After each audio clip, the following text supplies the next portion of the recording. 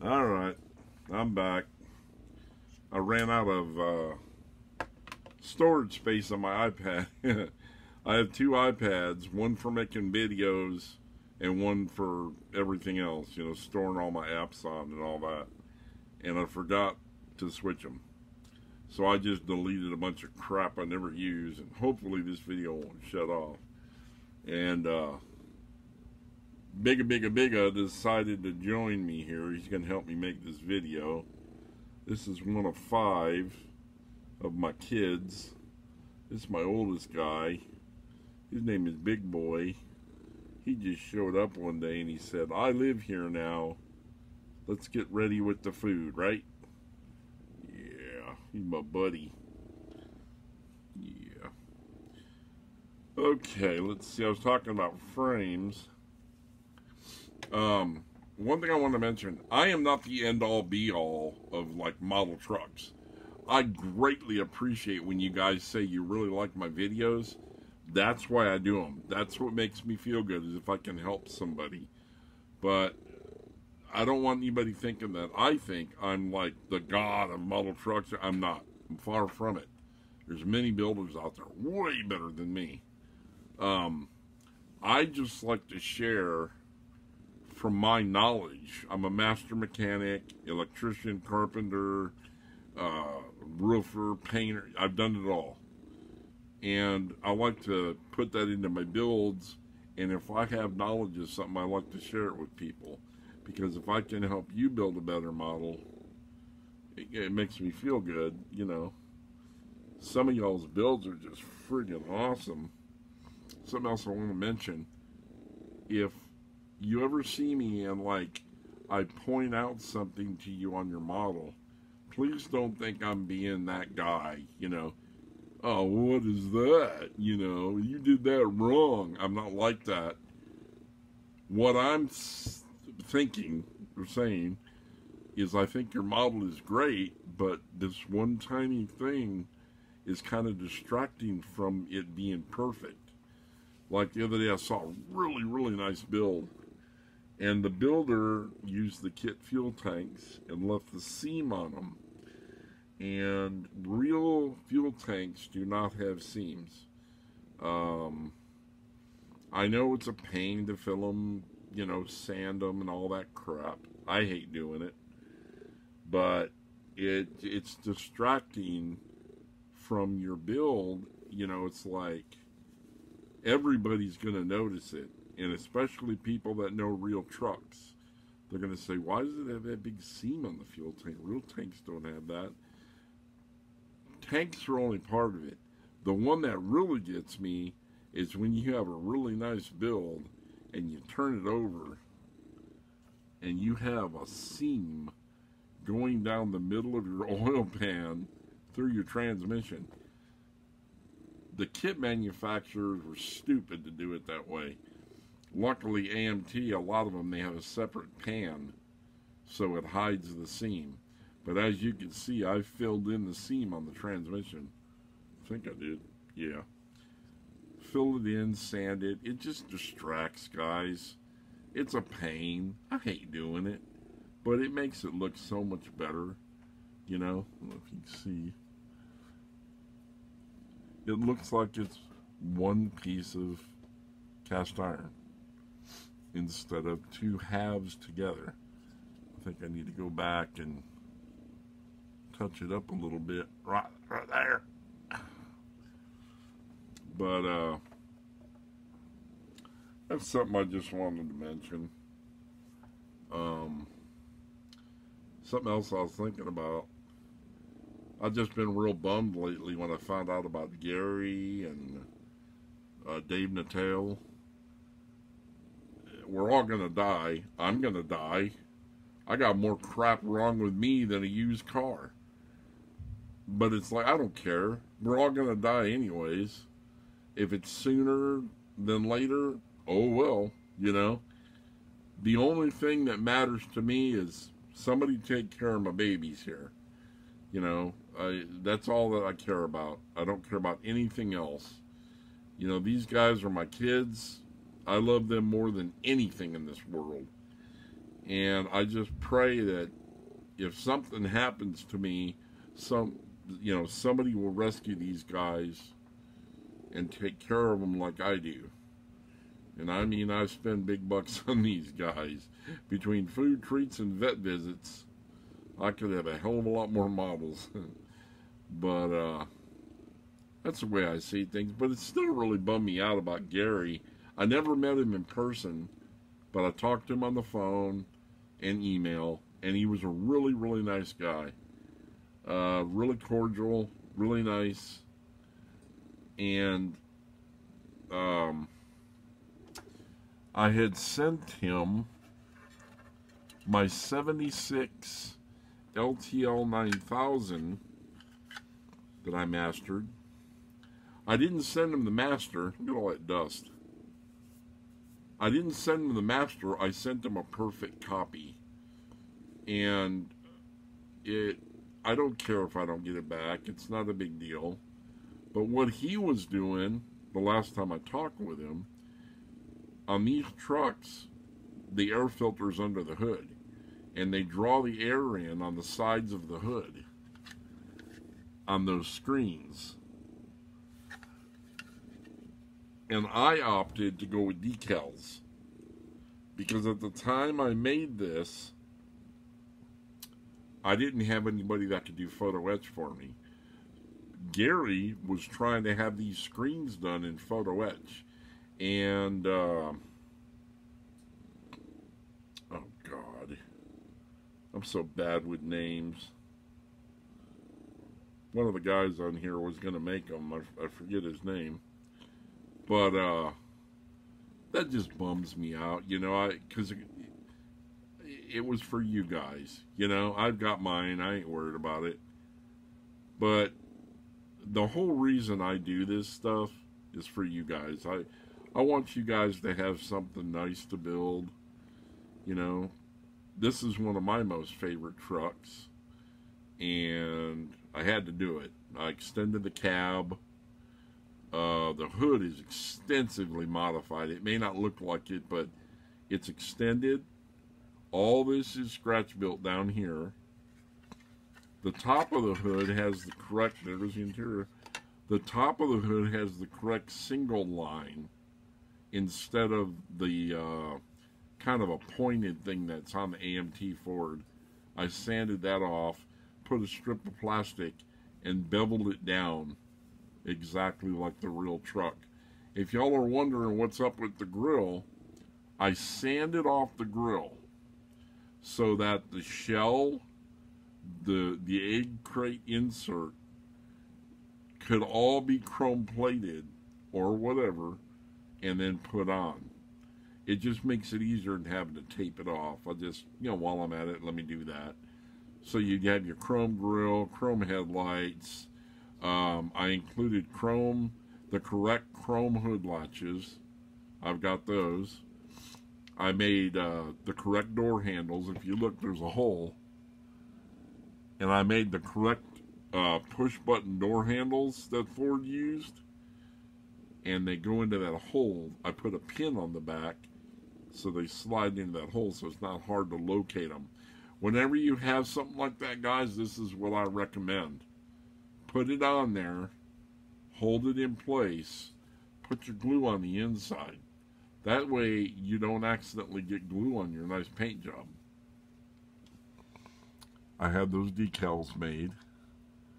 And what those were was Ford's uh, way of making your truck yours. It's the owner operator badge, and it has three initials, which are the driver's initials. And I put that on. I put it, yeah, I put it on both sides. I need to finish this. I got real aluminum split rims for it that Doug made, and it'll be a beautiful build when it's done. If I can just, you know, get back into the dang habit or building mood. I'm in it right now, but I don't know. I just, I don't know.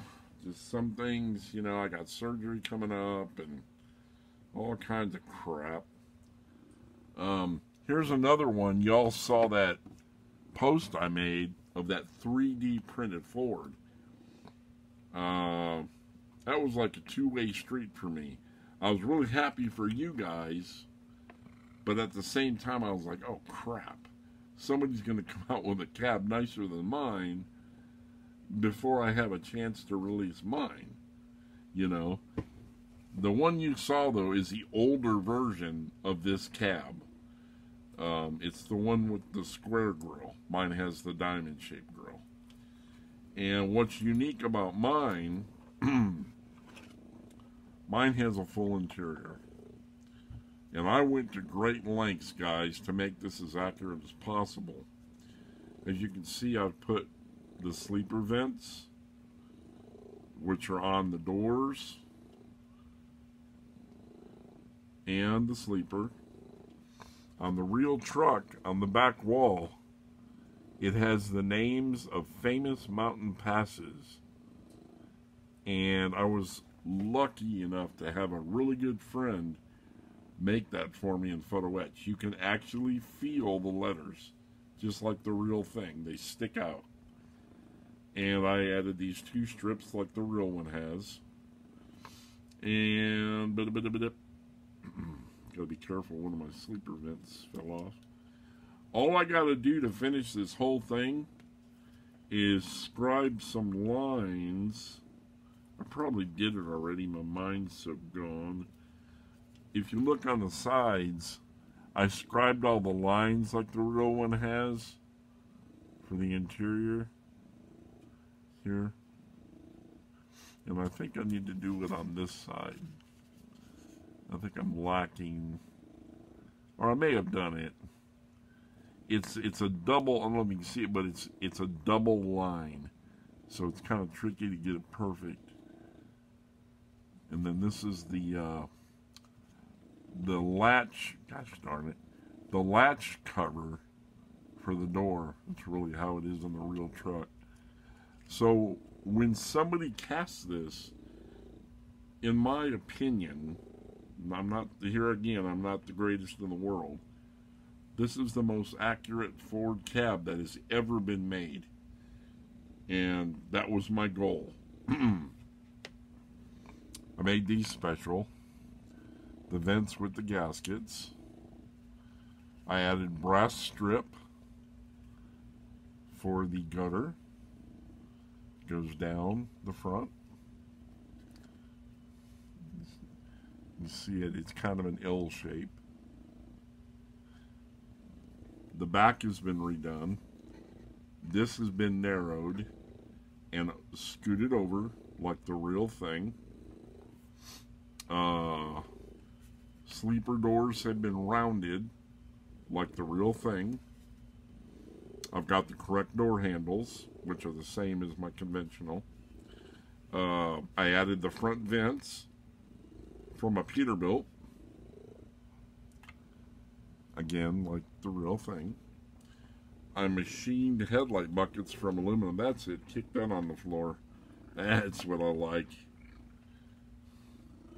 Um, machined aluminum headlight buckets, which will be in resin, you know, if you guys get it. But I wanted to get the perfect shape, so I machined them on my lathe, and they fit perfect. Man, came out great.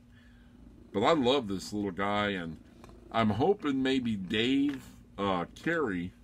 Hey, that's not yours. I'm hoping Dave Carey will want to cast this because Dave makes really nice stuff. He's a good caster. If y'all have this little guy, you know what I mean. Look at that. Uh, that is a beautiful casting. Just glass smooth you know, you don't see any of the body work. This is the work of a master. This is the work of somebody that really knows what they're doing. You know, when you can get the casting smooth. I didn't clean anything up on this. This is how I got it. I mean, it looks like I pulled it out of a kit box. I was really amazed.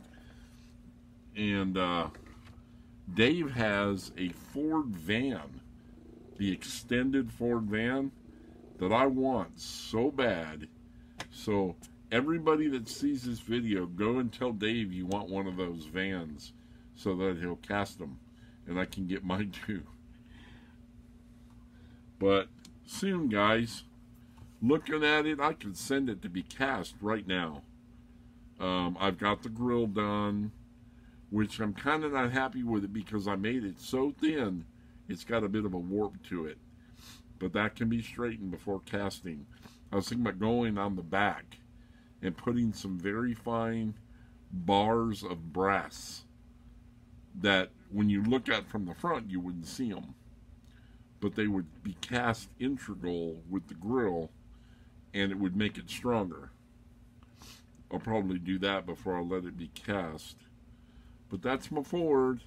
I saw her how much everybody loved the Ford. Here's something else I did. On the resin cab that's available this right here is all wrong. Big time. If you look at the real truck the one that's available, it goes too far forward and drops down too straight. If you look at mine, you see how I added the lip and it goes all the way around the front. Well, it stops right here. That's how the real one is. It's got an inset for the step right there, like that. I carved in the blinker recesses on both sides. So this thing will be just a kick butt build, you know. Now I'm looking at him like, Dave, you need to cast this. But look, it's got a hair on it. That won't be cast with it. It's probably from this guy right here, right, Bigga? Bigga likes to help. He provides the real hair that goes in the real trucks. Right, buddy? So let me get this going, guys, and I'll get it out there. Uh, I'm going to feel bad if something happens to me and I can't build anymore, and then you guys miss out on this. That would suck because I got a lot of time in this thing. But uh, let me get with Dave and see if he wants to cast it, and let me get it off to him and see what he thinks, and you know, maybe we can all build a Ford. You know, I'm not a Ford guy, I'm a Chevy guy. I gotta drive a Chevy pickup. But for some reason, I love these old Ford rigs. Got the lines on top. On the, oh, that's nice. Well, gotta glue that back on. There's one of my gutters. Shows you that they're a separate piece. Well, it is now. No biggie check this out. There's something else I wanted to tell you guys about. Doesn't that look like the insulation on the bottom of a cab? What this is, toolbox drawer liner. If you were to take this and put bare metal foil over it, and then cut it out and put it on the bottom of your interior, it would look exactly like the uh, insulation that's under a real cab. It's really thin foam. You know, I can press it in. But I wanted to have the grain on the bottom. It did two things. I hid all my body work with it, and it provides the correct detail of the insulation blanket.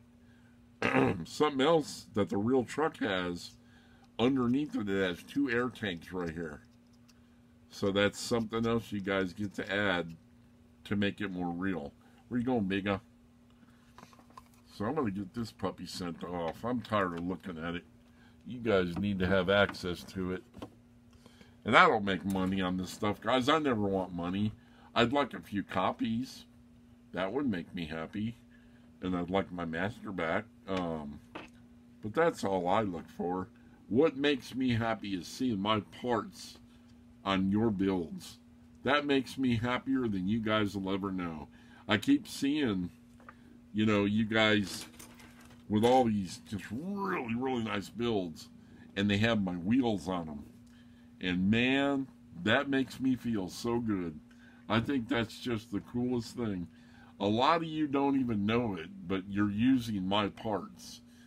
Uh, I've made a lot of parts for different people you know, Doug Wagner, Jamie Rommler, I've made a lot of parts and I've given it to them to allow them to cast and give to you guys. And uh, the way I see it is, why make something really nice just for yourself?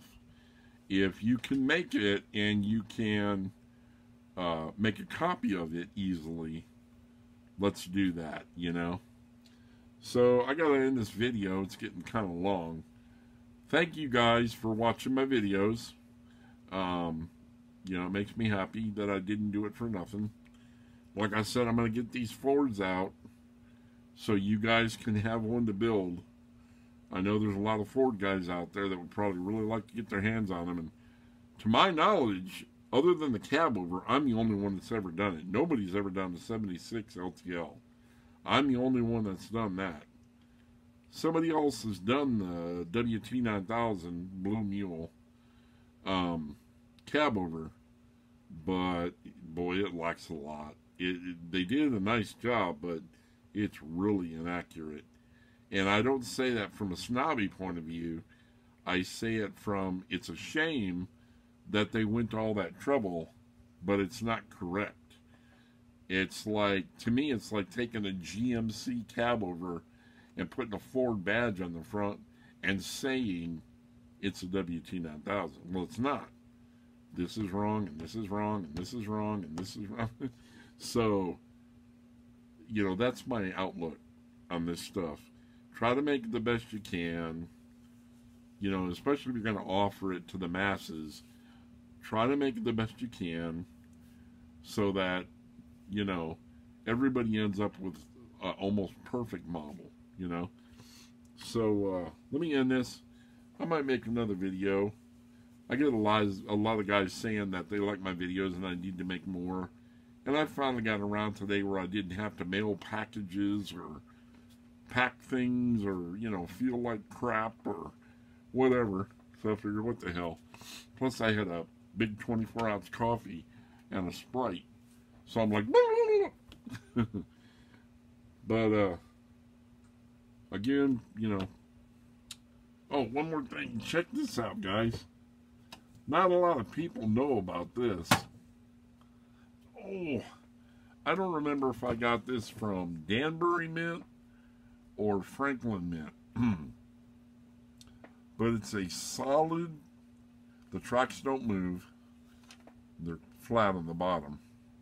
Because it's not made to be like a model. It's a clock.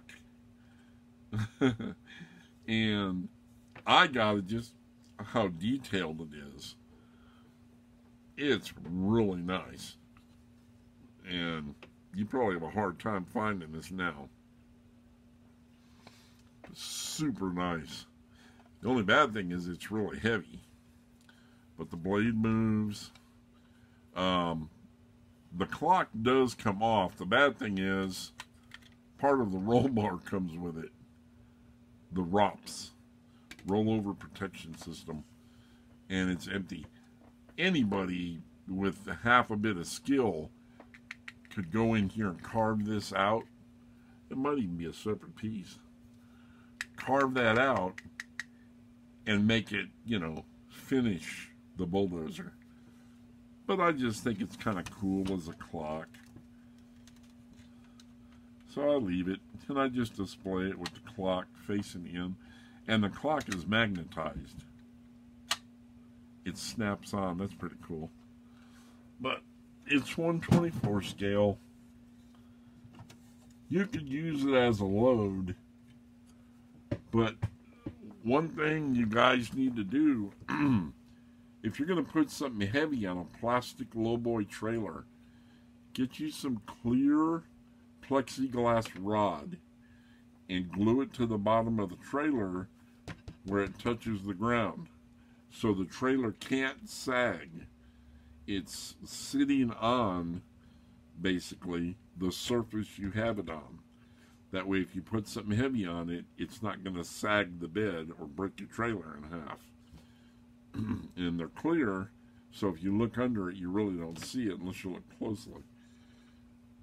Alright, guys. I run out of crap to talk about. Uh, Let me upload this and name it. And if I think of something else, I'll make another video. Take care. See ya.